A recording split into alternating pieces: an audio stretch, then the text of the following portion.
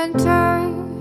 dreamt of wondrous flying machines, drawing sketches of the things that he found in his dreams, painting people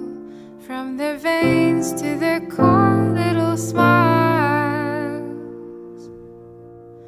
sculpting people out of clay in their very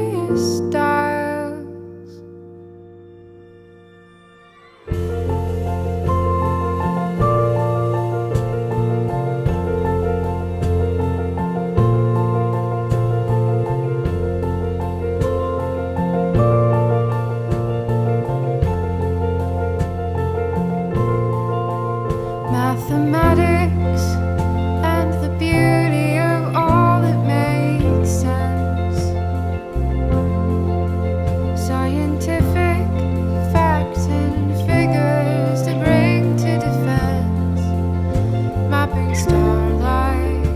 wondering what outer space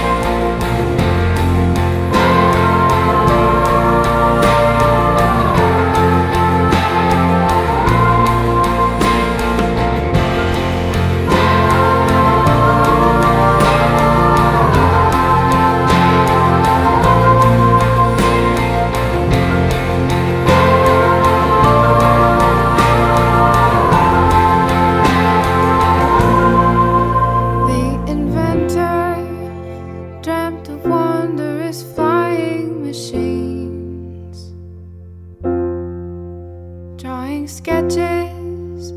of the things that he found.